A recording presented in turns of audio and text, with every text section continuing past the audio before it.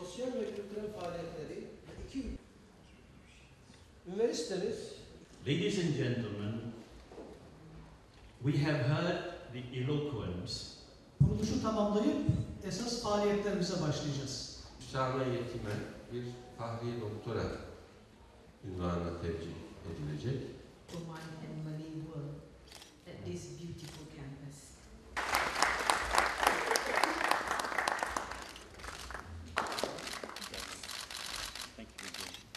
We have been uh, getting knowledge from the Orientalists, uh. Merkezden beklentimiz iki dünya arasında akademik çalışmalar yapmak ve işbirliği oluşturmak. Kendi dünyamıza ait çalışmaları, bilgileri daha çok oryantalistlerden alıyoruz. Biz bu bilgileri sadece batıdan almak yerine kendi dünyamızı kendimiz çalışmak, bilgi üretiminde pay sahibi olmak istiyoruz. Bu amaçla Müslüman ülkeler arasında bu tür işbirlikleri geliştirmemiz gerekiyor. İslam finansı konusunda da ortak çalışmalar yapabiliriz. Tek bir finans teorisi üzerinde durmak yerine bunu çoğaltmak gerekiyor. O anlamda altın dinar meselesini ciddi şekilde çalışıp farklı bir ekonomik sistemde ortaya koyabiliriz.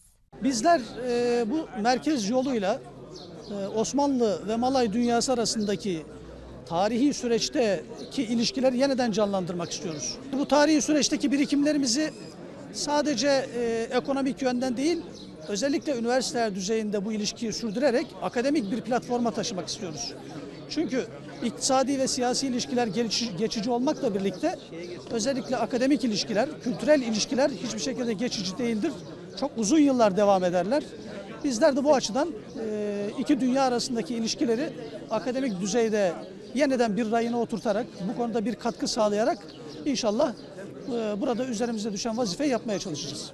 Osmanlı Malay Dünyası Araştırmaları Uygulama Merkezimiz, eee, İslam ümmetinin, İslam toplumunun iki önemli parçası Malay Dünyası ve Osmanlı Dünyası'nı kültürel, akademik, aktüel konularda bir araya getirmeyi hedefleyen bir merkez olarak kurgulanmıştı. Bugün çok şükür onu tamamlamış olduk. Çalışmalara başladık.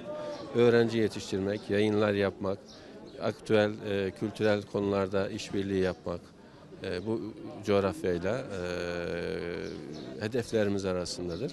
Yaklaşık 100 yıldır belki çok az temas kurmuş bu iki dünya, çok az bilgileri olan birbirleriyle ilgili bu iki dünya bu merkez sayesinde e, bir araya gelmiş oldu.